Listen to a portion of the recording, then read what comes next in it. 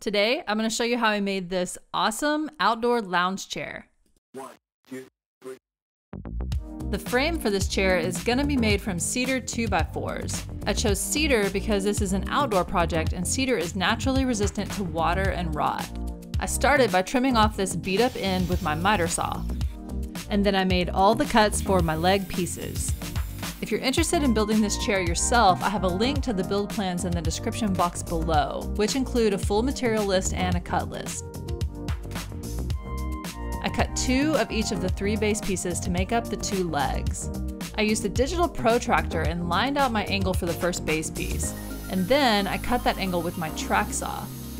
You could also easily use a circular saw. Continued finding all of the remaining angles for the leg pieces and then I cut them with my track saw. And again, you can also use a circular saw for this, and I have plans linked down below to help you with these angles.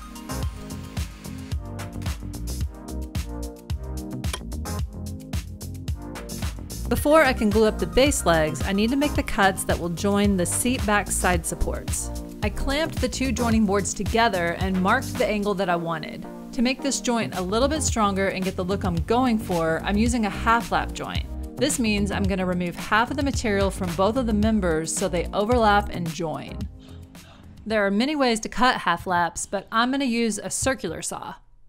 I set my circular saw to the correct depth and then I clamped the two members together so I could cut them to the same width at the same time.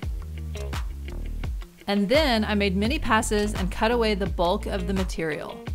I used a scrap piece of wood in front of where I was cutting so I had a flat surface for the bed of my circular saw to rest on. It also helps prevent tear out. You won't be left with a perfectly clean joint, but a chisel will help clear any rough spots out. And you can see here how the two pieces now fit together. To avoid screws showing on these first two pieces, I'm going to screw them together from the bottom. To do this, I glued and clamped the pieces together and then drilled out a recess with a 3 8 bit. And then I screwed the two pieces together. I'm using a waterproof glue since these are outdoor chairs. I link the glue and everything else I'm using in the description box below. To join the next two boards, I used a pocket hole that will be hidden under the seat slats.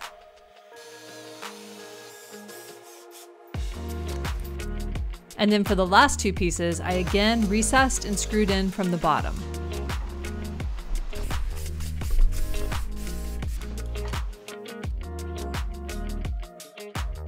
Okay, and now we can attach the seat back side supports. I grabbed my 3 8 inch Forstner bit and drilled about a half inch into the wood. I then added wood glue, clamps, and then screwed my two pieces together.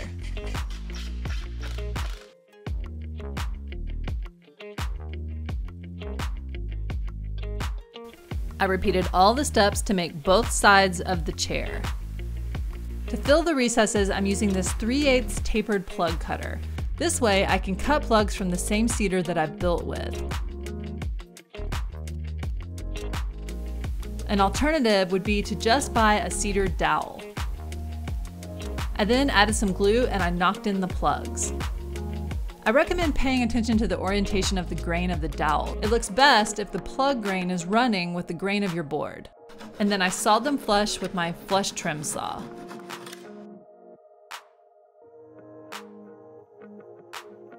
I repeated the steps for the other side and then I cut a back stretcher to attach the two sides together. This board will be attached using pocket holes. The front stretcher has a unique angle of 50 degrees and my table saw will only cut to 45 degrees. So my fix for this was to tilt my blade to 5 degrees and cut a small wedge off one side of a scrap board.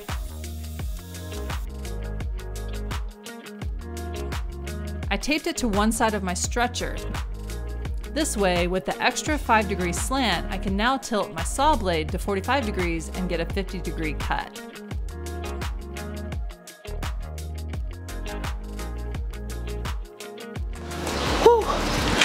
It worked! With the cut made, I then added some pocket holes and glued and screwed it into place.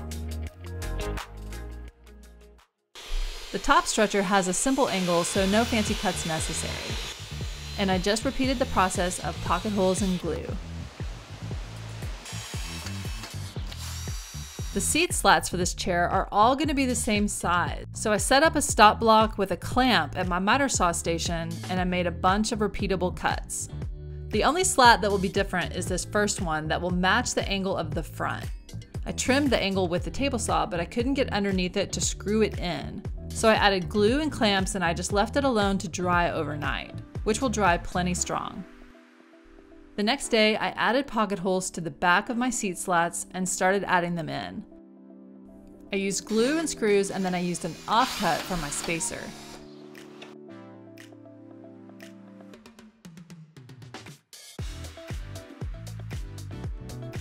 The bottom seat slats are going to need a center brace for extra support. I used a cedar 2x4, cut the front angle, and then I set it into place. I again used the same offcut to get the depth of how far down the brace should sit. To secure the brace from the backside, I'm again going to recess screws. This time, I decided to try my pocket hole drill bit to drill the recesses. However, this bit did not make a clean cut, so for the second recess, I went back with my 3 8 Forstner bit, which made a much cleaner cut. I then pre-drilled, drove in screws, and then added more cedar plugs just like before. By the way, you don't have to recess and plug screws, I just really like the way this looks. With the center support in, I can start adding the rest of the seat slats. Continue my method of gluing and screwing them using pocket holes from underneath and a scrap wood spacer. To protect the bottom of the chair, I'm adding these rubber furniture feet. This adds general protection, but I also like the idea of propping the chair up just a tad off the ground so it doesn't sit in water when it rains.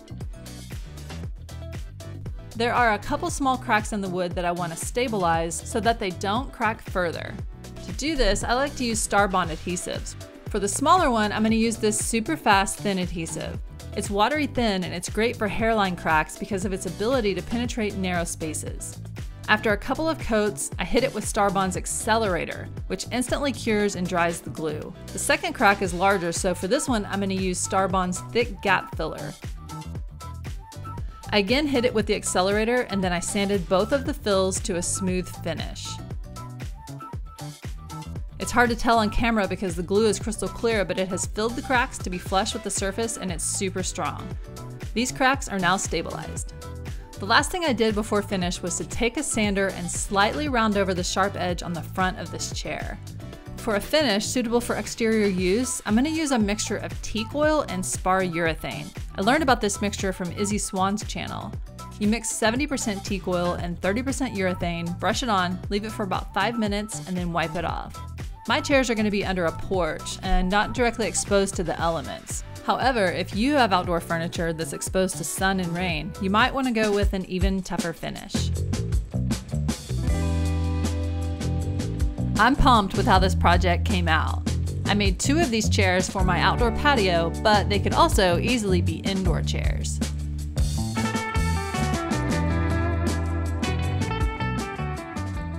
Cushions made for my chair because my chair's width is a little wider than traditional cushion measurements. I've left the dimensions of my cushions in my written article linked down below. I've also linked some store-bought cushions that will accommodate just a slightly narrower version of this chair. If you'd like to build this project yourself, I also have downloadable PDF plans linked below. The plans are gonna have a cut list, a material list, and step-by-step -step instructions for the exact chair I made or a slightly narrower version that will accommodate the store-bought cushion. You get both measurements in the plans.